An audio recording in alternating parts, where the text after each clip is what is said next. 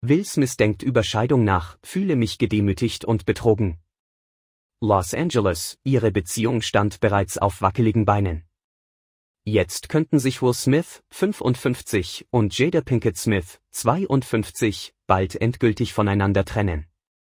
Wie Daily Star unter Bezugnahme auf anonyme Quellen berichtet, soll sich der I Am Legend Schauspieler von seiner Ehefrau gedemütigt und betrogen fühlen.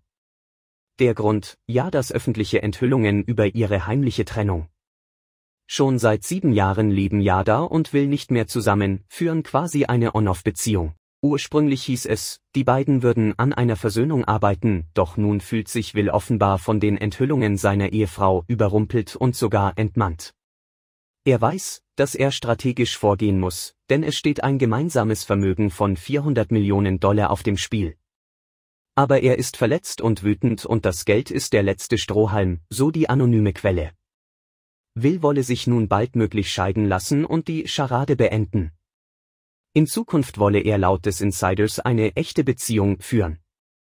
Will habe angeblich nichts von Yadas Vorhaben, ihre Trennung öffentlich zu machen, gewusst. Dementsprechend wütend sei er jetzt.